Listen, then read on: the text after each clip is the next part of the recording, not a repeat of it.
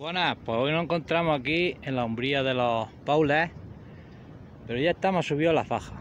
La faja se compone de una 10 oliva de ancho por 40 de largo. Todo llega hasta el lomillo ese. Y luego vuelca para allá, que es un hilo de 40 olivas. Aquí el tipo de poda que llevamos, pues una poda bien complicada que escasas veces vais a, ver. Entonces, es un vídeo interesante. Ya estáis viendo el olivo. Hemos buscado un punto de referencia. Ahí dejo los guantes y así ya, ya estáis viendo. Estos olivos, deciros que no sé cuándo fue la última vez que se podó. A mí me han comentado que llevan unos 8 años por ahí sin tocar. Entonces aquí la poda es complicada. Vamos a acercarnos a ver qué vemos por dentro. Aquí ya estáis viendo el jaleo que hay. La cruz muy alta. Los nuevos parcielos. Esos ya no van a bajar. Y aquí se puede ver una sangría vieja Vamos limpiar para que la apreciéis. ¿Veis? Está el corte y el olivo ha crecido alrededor de la sangría. Luego aquí tenemos unos nuevos que están donde no nos interesan, pero no podemos hacer otra cosa que conservar ahora mismo. Porque hay que quitar todo lo que va para arriba para que este olivo pueda coger sol para así producir energía para hacer fruto. Entonces, aquí nos acercamos y vemos negros pero negros ya de unos pocos años. Aquí hay una ventaja que tenemos ya aquí nuevo. Hay un costado que lleva mucho tiempo dejado y hay nuevo. Esta vamos recta para arriba.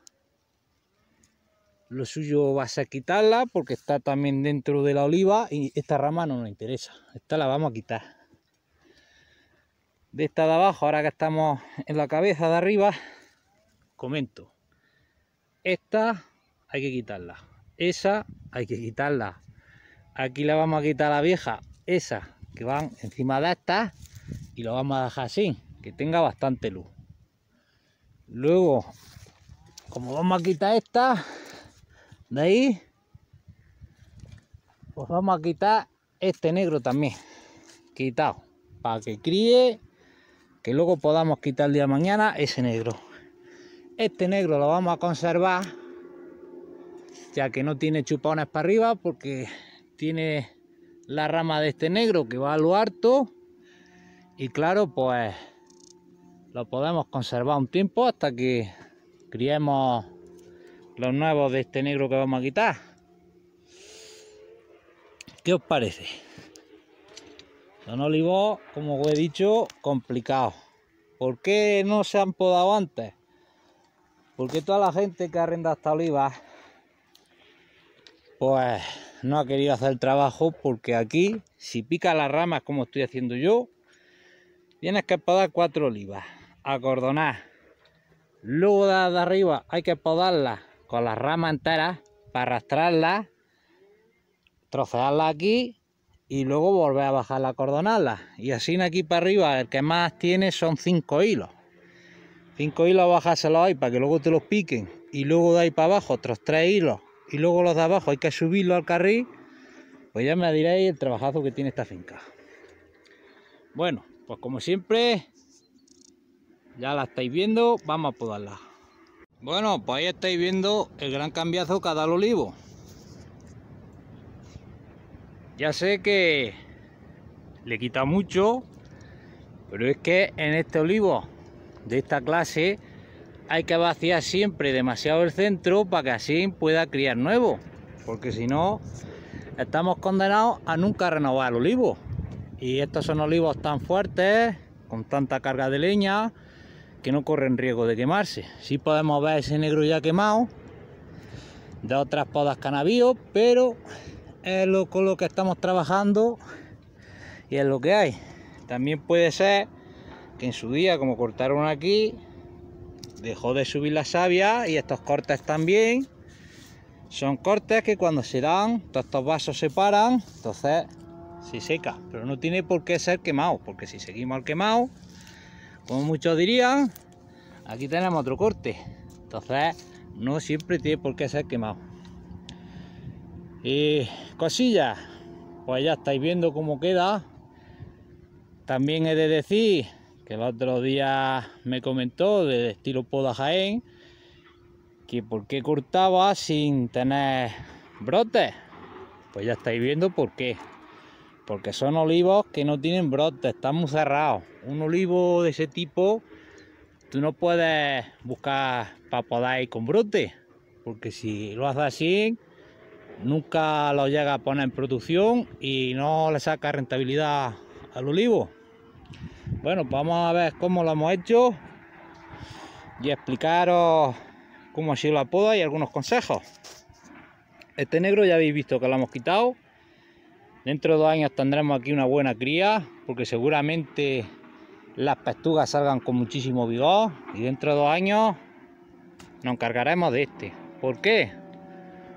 Porque ya también me he encargado de quitarle una ramilla para darle luz a esa cría. Dentro de dos años estará criada nos llevaremos por delante a este y quizás aquel también nos lo llevaremos porque ya tendremos esa cría y esa de ahí tendrán buen tamaño como para ocupar ese sitio. Y ya tendremos el olivo casi renovado. ¿por qué digo casi?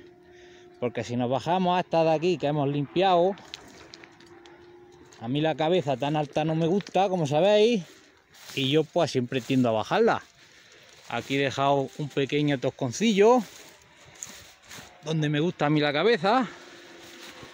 Y el día de mañana, cuando esto críe, seguramente dentro de 6, 8 años, voy a me ir encargando de dejar sitio para ir quitando eso al día de mañana, por donde tiene la sangría quitado. El tronco por donde sube la savia para las ramas nunca puede tener una sangría por debajo de la rama que te cría la aceituna, porque estás perdiendo energía y cosecha. Estáis viendo cómo ha quedado. Aquí también le hemos quitado una. Porque venía todo esto se quedaba muy apretado y luego el producto no entra bien. Que lo que nos interesa que cuando vengamos curando que el producto no entre por todo. Y luego ese corte atusado que veis ahí dentro, ya sabéis que lo hago así para que no críe. Porque dentro de entre las dos olivas nunca me interesa la cría. Ya tiene ahí una poquilla de alguno que se le quitó y estaban ahí enratonados. Este año pegarán el tirón también. Bueno, pues espero que os haya gustado. Y si os ha gustado este tipo de poda, lo decís. Todos los días subo un vídeo mientras estamos por aquí. Pues como siempre, un saludo a todos. Invitaros a que os suscribáis para que así podamos seguir creciendo y vayáis viendo vídeos de este tipo de poda, ya que nos encontramos por internet que hay muy poco contenido haciendo estas cosillas. Son olivas muy viejas, tienen follaje porque el año pasado la empezamos a curar, eh, han respondido muy bien con el tallo, están cansadillas y ahora con esta poda y con las curas que le damos veréis cómo esta oliva se pone al día. Que como siempre os digo, este, estos vídeos van dedicados al cultivo del olivo y del pistacho, claro está. Venga, pues como siempre, un saludo a todos y hasta el próximo vídeo.